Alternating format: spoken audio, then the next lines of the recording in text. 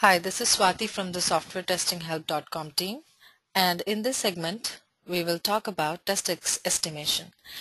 Now test estimation there is really no shortcut to it. I know there is plenty of content available on the internet um, with a lot of theories like function point analysis and there are lots of formulas on you know how to calculate the number of input points output points test cases validation points. So there's plenty of uh, different ways to do it.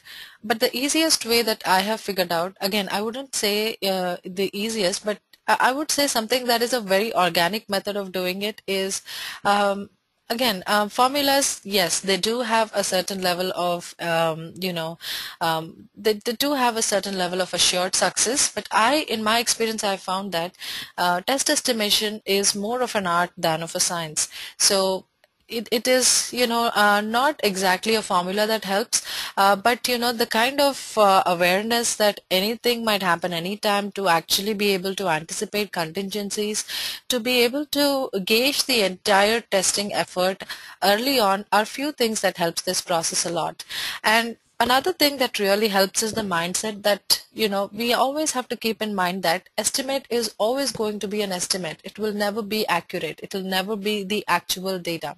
So it will it is always good to recognize this fact and to move on when an estimate goes wrong um, I mean of course there are always rep repercussions of estimations going wrong uh, but then you know it's it's a it's a good attitude to remember that you know things always I mean, there's no way, estimate is always going to be an estimate. So there's always going to be a certain amount of deviation.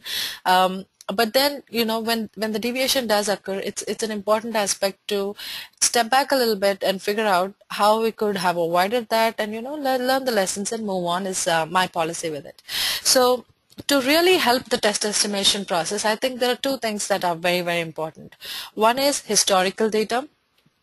Uh, again, this is one of the reasons why test estimation is not carried out by uh, QA team members. It is something that is done by the QA coordinator, QA lead, or you know the QA manager because a certain level of experience, a certain level of being in the field uh, really, really helps the test estimation process. And the other thing, as I said, the alacrity, the you know uh, awareness of the entire process, uh, the client's timelines in, in, in, mind, all of these are important factors. So I'm just going to show you my approach to how I perform test estimation and I've been fairly successful.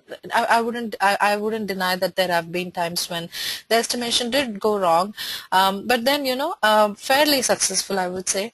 Uh, so this is my take on the subject and this is something that you know I hope even the absolute beginners would uh, find it easy to you know uh, get started with it. So few things before uh, you know uh, we get to test estimation is uh, always check the project plan. Because oh, in the overall project plan so when in the overall project plan let's assume if the project is six months and six stages in the SDLC right? So test is the stage five correct?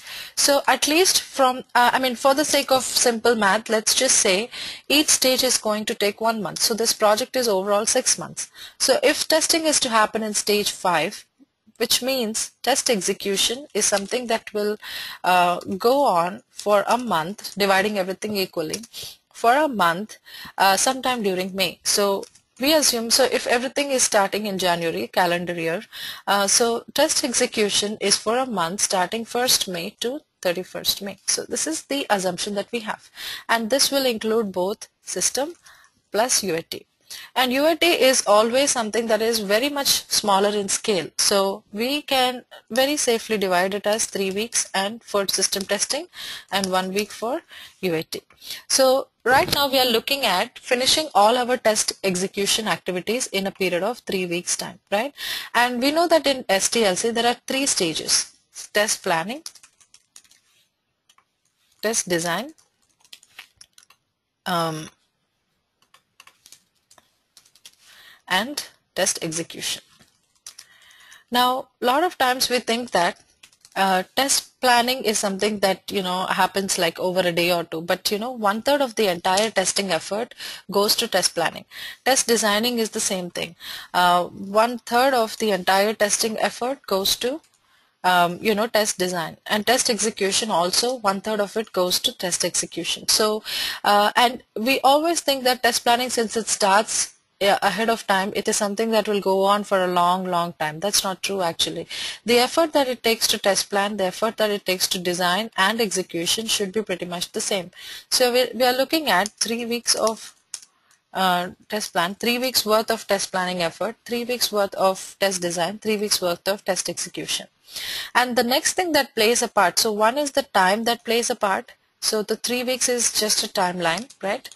Um, the other thing that plays a part is the team size. How many team members are you looking at?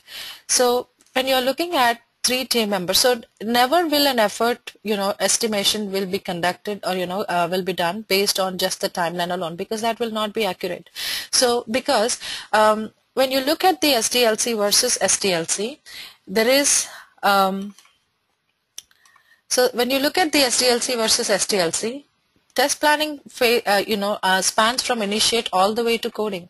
Uh, test design uh, starts at the design and goes through coding and test execution is just part of the test phase.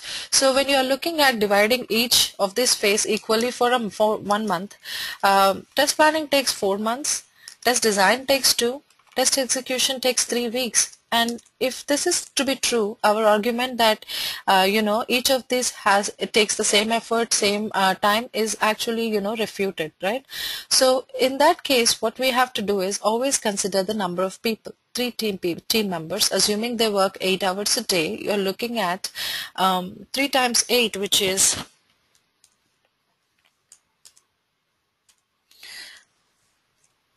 24 hours of work every single day.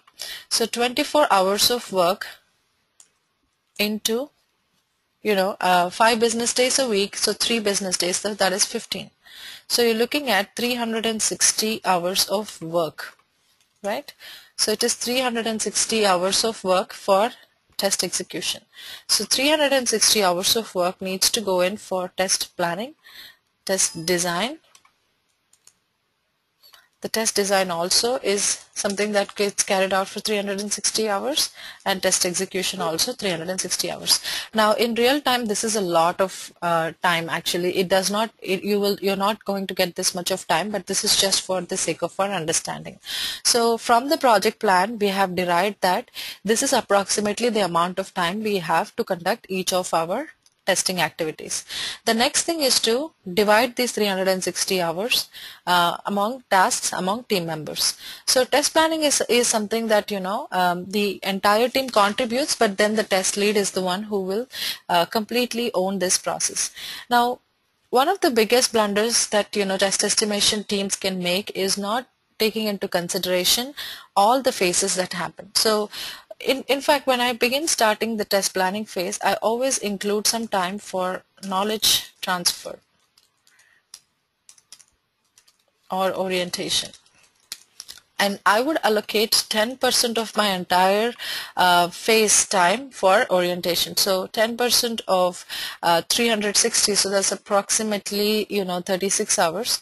I would allocate it for you know uh, knowledge transfer. Again uh, if you ask me how did I come up with 10% because if a project takes about 360 hours to just plan you would at least have to spend you know one tenth of it on understanding the whole project. Otherwise the whole effort is going to crumble down. Uh, so this is an estimate. This is just you know again as I said an intuitive number an intuitive figure there. Um, again this depends on how well your team knows the application how well they're comfortable with it all of these factors. Uh, so the number of hours is, I mean, I mean 10% I would say for knowledge transfer. Then I would include some time for requirement gathering.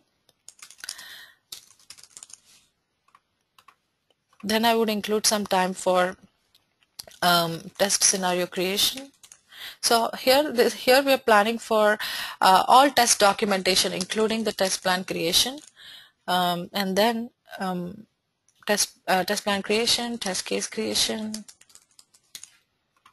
um, reviews, peer reviews, traceability matrices, um, and then if you have any other, you know, um, coordination meetings and everything that needs to happen, you will have to plan and allocate time for that. Um, so, uh, you know, let's assume this is it. And I always like to plan uh, with a contingency factor that is over the time uh, about 30% is the industry standard but 30% we do not have the luxury of that in real time.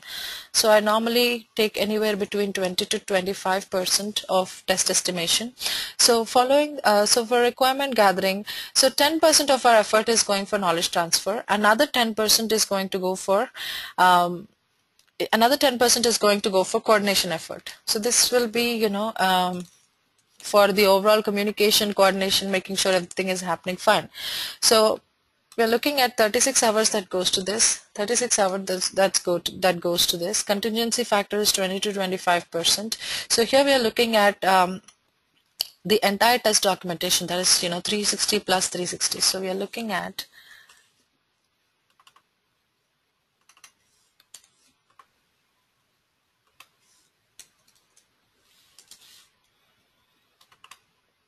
Oh, well, you get the picture. So it's 36 plus 36, that is 72.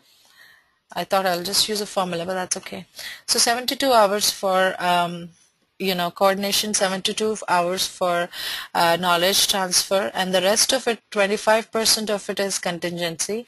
Um, so that is one-fourth of it, which is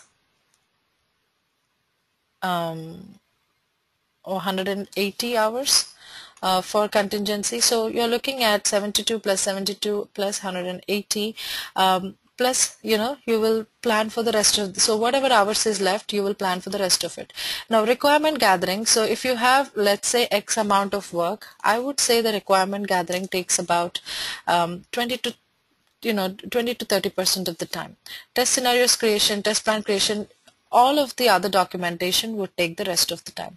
So this is how you can estimate your test plan. Now estimating the test execution is always tricky because you will have to take into consideration three things. Uh, the execution itself, uh, the test case maintenance, and then the test case um, you will have to take care of test case execution, maintenance, um, and the reporting also. Uh, so the reporting again 10% because that's coordination. Maintenance also will not take 10 to 15% of the time that you have. Execution is you know the rest of the time. Now you might be wondering that I'm just distributing time and not really estimating it. So estimating you know um, my Uh, again my take on how, if if I have to like you know if I if I'm not working with a, a, framed timeline if I have to come up with my own set of timelines on how much how many hours of effort every activity is going to take I try to calculate that based on the complexity of the functions I'm testing. So when I'm looking at an application you know try to understand how how much of a scope there is. Try to understand how many requirements there are how many pages there are. So whatever works try to quantify that. If you are quantifying it by the number of pages that's okay. If you're quantifying it by the number of use cases that's okay. So at least you know if you have use cases or if you have this kind of you know a number of pages uh, try to take try a trial run of you know your most complex functionality and try to write your test cases or you know try to estimate the number of test cases that that might yield. Um, so for a complex functionality I would say 8 to 10 test cases is what you can write in a particular day and what you can execute also. And for test cases which are really simple you know uh, medium complexity it is 30 that you can write and 30 that you can execute and for you know field level validations exploratory tests you can run about a thousand of them every single day depending on you know I mean thousand is maybe an exaggeration so probably uh, around uh, hundred or so and those things you know you will have to just you know allocate some time in your um, testing phase for um, exploratory testing. But other than that, I don't think there is any formula that uh, that you know exactly tries to calculate the effort estimation. It is um, and and you know it the chances of the success will be more if you are willing to go back and revise always.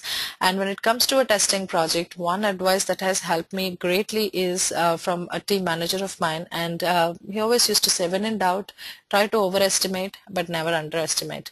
So when it because testing is a reactive job and we are we are always uh, relying on the other teams uh, making it on time. But when they don't actually in a situation where we probably have nothing to test, right? Uh, and that is going to affect in, uh, you know, delaying the timelines. We're probably not having enough time to test. So always, always, always, always include the contingency factors. Do not miss out on any steps. So when followed this uh, method for a period of time, I'm sure, you know, uh, um, again, whenever you, you find yourself that the estimation has gone wrong, sit down and try and analyze why that's the case and if there's anything that, you know, we can do from our end to, you know, not turn into the same situation uh, again in the future.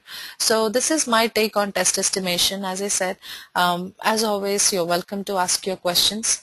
Thank you, everyone.